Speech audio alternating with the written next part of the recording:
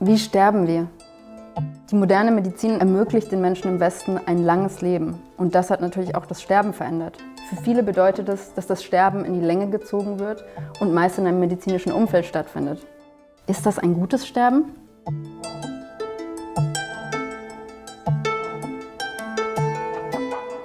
Literatur dokumentiert unsere Kulturen des Sterbens und erlaubt uns darum auch, die sozialen, medizinischen und persönlichen Herausforderungen, die damit verbunden sind, besser zu verstehen. Und deshalb benutze ich sie als Quelle und Archiv, insbesondere in Bezug auf die Palliative Care.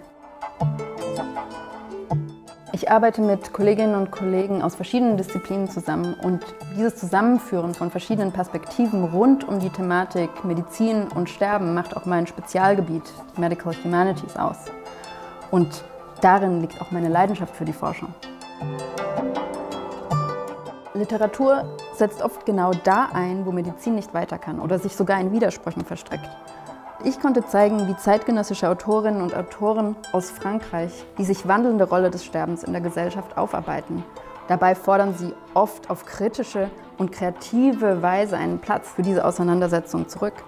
Wird das Schreiben dabei vielleicht selbst zu einer palliativen Praxis? Und welche Rolle spielen Bilder in diesem Prozess?